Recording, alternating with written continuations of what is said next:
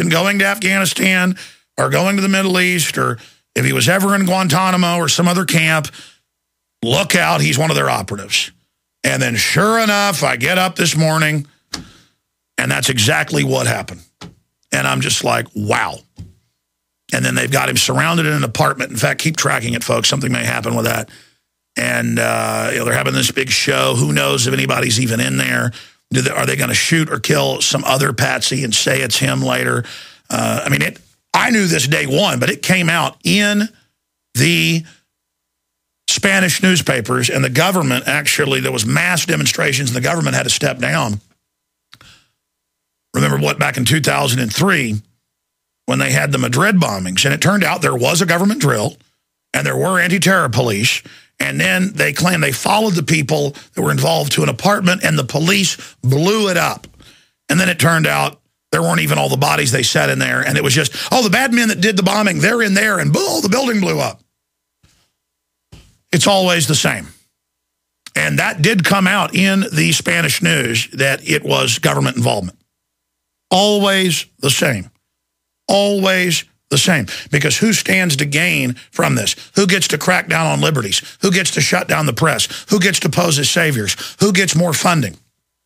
How many times have fire departments, I think firefighters on average are the best people in our society, great servants, brave men and women, but how many times do you see it as a footnote in the news that a fire department is about to get its funding cut, so one of the people involved gets caught by a sheriff's deputy driving along, coming out of a barn they just set on fire. Or fire department caught setting grass fires. It, it, it's the oldest trick in the book. You know how the Romans? Do you think the Italian La Cosa Nostra just started coming to people's businesses in the last hundred years and saying, pay me protection money or somebody's going to burn down your business, pay me fire protection. That was done for a hundred years plus before the birth of Christ. Over 2,000 years ago on record, the most powerful guild in the city of Rome itself, the biggest city in the world at that time, was the fire department. And if there was a real fire, they'd come put it out. Because back then, fires were really devastating. They'd burn through the whole city. But if you didn't pay them the protection money, you better believe your area is going to get burned down. And it was an unofficial tax on the different quarters because it was all, you know, in different minority areas so people wouldn't kill each other, just like today. Uh, you had the Jewish quarter, the Persian quarter, the Egyptian quarter, later the German, the Gaul quarter, uh, the Austrian area, all there. And they would come and say, you're going to raise money, chief, head guy of this area, or somebody's going to burn down your neighborhood.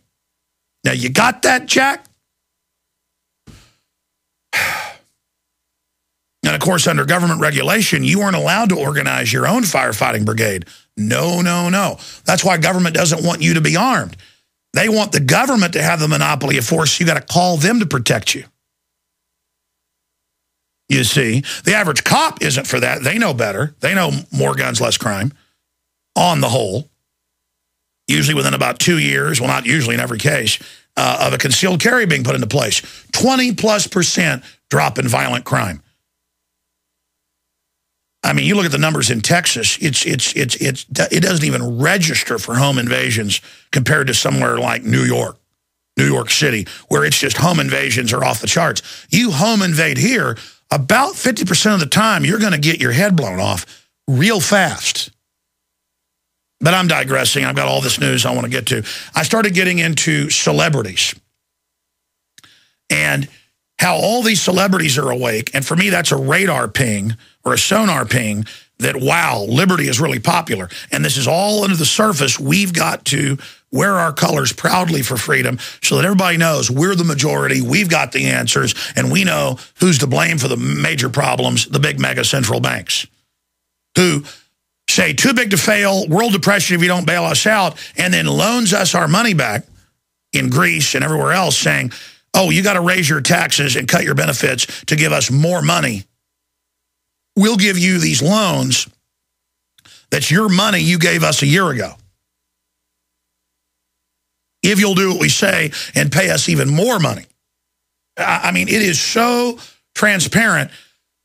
But because people don't have heroes that are into how the Federal Reserve works, that's why Ron Paul is so dangerous for the system. It makes a hero out of somebody that's into reality.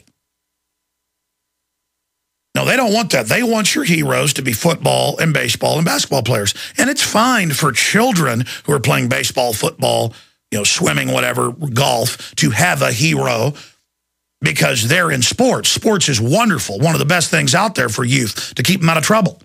I'm all for sports if you're participating in it or your children are in it.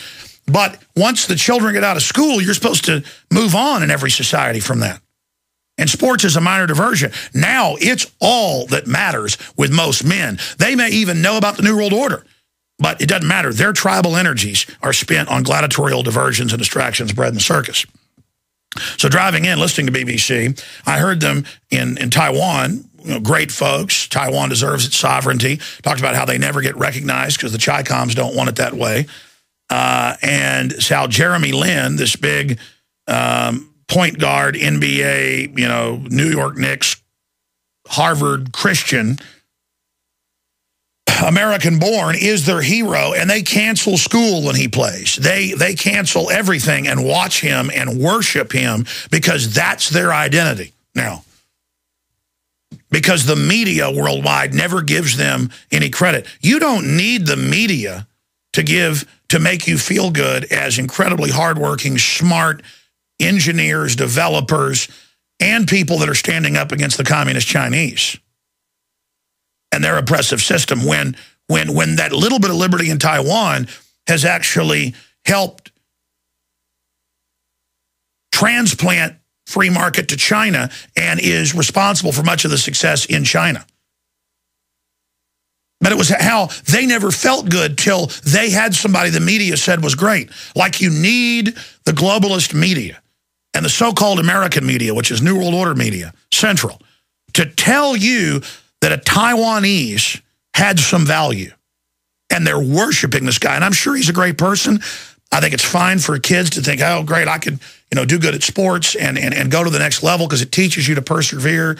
It teaches you to you know, reach those goals.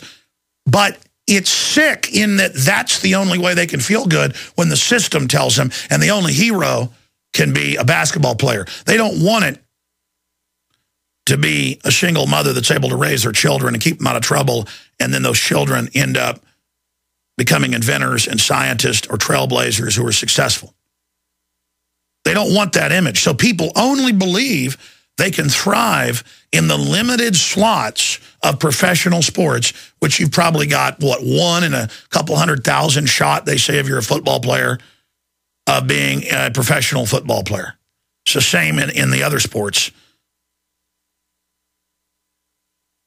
So it's the idea that that's the venue. That's, see, they're controlling your dreams through this. They're controlling the maps of the mind. They're the map makers. They, they create this little box, and the Taiwanese say, we feel so depressed about who we are, but now we have Jeremy Lin and we feel good. You need the media to give you someone who's Taiwanese, who's excelling at something, when you're excelling at everything you do. But the media won't tell you that. They want to make you think Taiwan's a joke, Taiwan's bad, Taiwan's not a country. Well, don't let that get you down. They're getting you ready for absorption into communist China.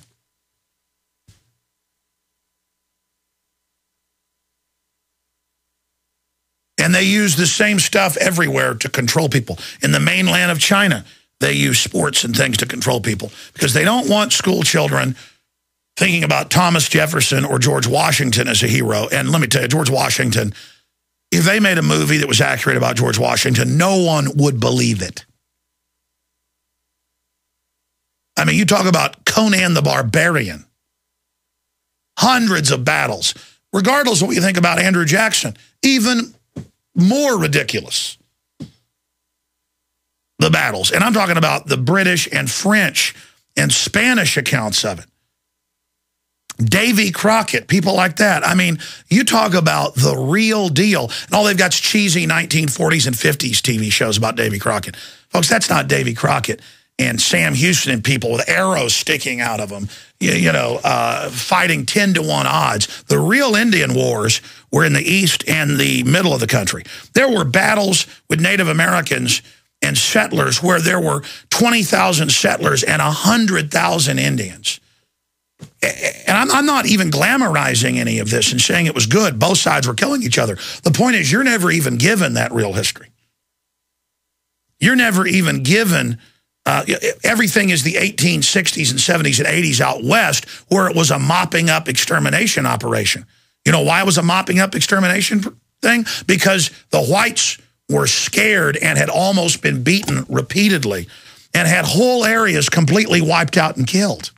All over the East Coast, all over the middle of the country. There were battles in Illinois. There were battles uh, in uh, all over this country where tens of thousands were killed.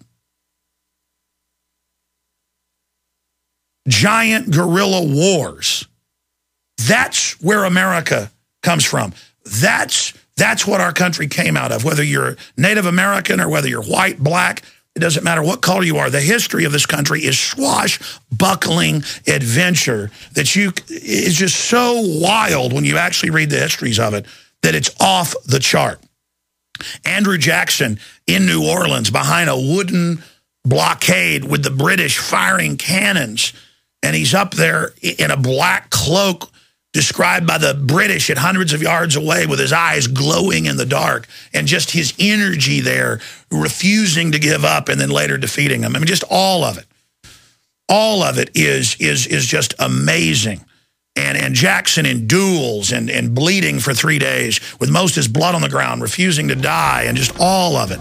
I mean, that's what Americans come from. We are not these cowardly, pathetic creatures that they have made us to believe that we are. We come from amazing, dynamic, brave people, and we need to reclaim our birthright and realize who our ancestors are. We are not these weak, cowardly television-watching jellyfish. Big news straight ahead. I've seen the longevity products work for many others. All right, I have been ranting and digressing off into history, but it's it's important because those that don't know history are doomed to repeat it. We'll continue to track uh, the standoff with the supposed gunman who's in the apartment. We have no idea if that's even true over in Toulouse, uh, France. I'm not going to spend all day on this, but I'll cover it more later in the broadcast. Obama campaign says white first lady joke was inappropriate. And here's my issue. If Rush Limbaugh would have said something like this, he would be off the air. They have TV shows on national television during the family hour that I can't even say the name of on radio because I know I have children listening and I've got to control myself. But it's good Christian bleepers. It's okay to attack white people. It's okay to put down uh, Christians because the system wants to play different groups off against each other. And that's the acceptable system. And Robert De Niro, who's a great actor but must be an idiot supporting the Democratic Party, Robert De Niro